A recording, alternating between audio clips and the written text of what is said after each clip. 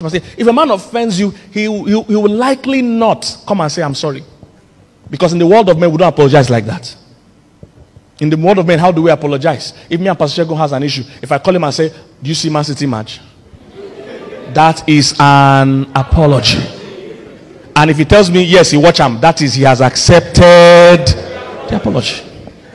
But women can't understand that. In the world of men, until we bring that matter and say, well, This is what I did to you. I'm sorry for what I did. Well, men don't apologize like that. So when your husband is laughing with you over something else, when there's a pending issue, that's his apology. So I tell women, collect that one first. Eh? Continue gisting with him. Later, when tension is down, tell him that next time if you offend me, eh, just tell me I'm sorry.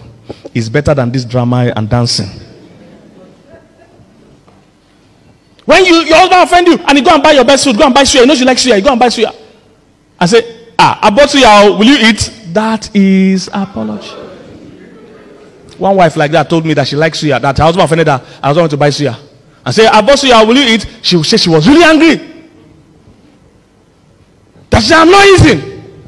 In the world of women, when you buy something that uh, the woman likes and she's not eating, that's a sign of I'm angry.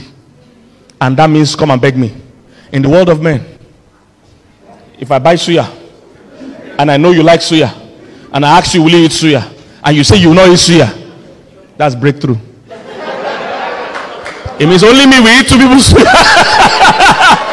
Do you understand? Because men are literal beings. Because women will say, Leave me. By leave me, they mean don't leave me. In the world of men, leave me means leave me. All these things I'm saying, I had to learn it. So my wife would tell me, when you upset me, just tell me I'm sorry. When I'm saying leave me, I don't mean leave me. I mean show me that you love me and you want to be with me.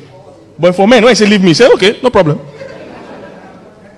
So you must communicate to bridge this gap. You must learn how men and women speak. You must learn the language of women. When a woman is saying leave me, she doesn't mean leave me. When a woman is saying there's nothing wrong, it's not necessarily so.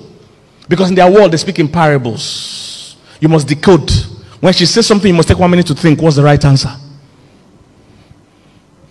Somebody get what I'm saying? Am I fat? If your wife asks you, Am I fat?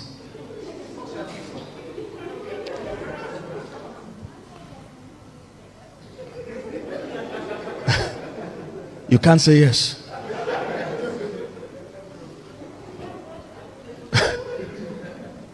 Say, I, I, don't, I don't know, but I, I can't notice because you're always fine to me.